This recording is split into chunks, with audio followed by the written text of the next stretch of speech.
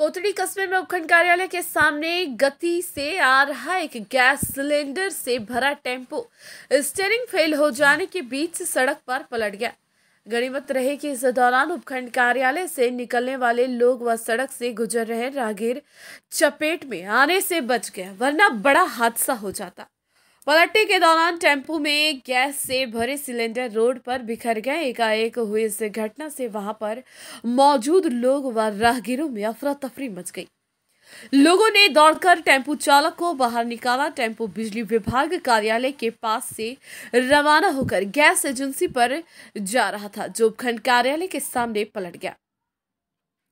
Tempo पलटने से हाथ पैर फूल गए। लोगों ने दौड़कर चालक को टेंपो से बाहर निकाला। लोगों ने गैस एजेंसी संचालक पर कंडम वाहनों को उपयोग में लेने का आरोप लगाया। कस्बे वासियों ने गैस एजेंसी संचालक से खटारा व कंडम वाहन हटाने की मांग की है। कोतड़ी गैस एजेंसी पहले भी विवादों में रह चुकी एजेंसी संचालक से परेशान होकर एक आदमी टावर पर भी चढ़ चुका है। घटना के बाद मौके पर पहुँची पुलिस टेंपो को थाने ले गई।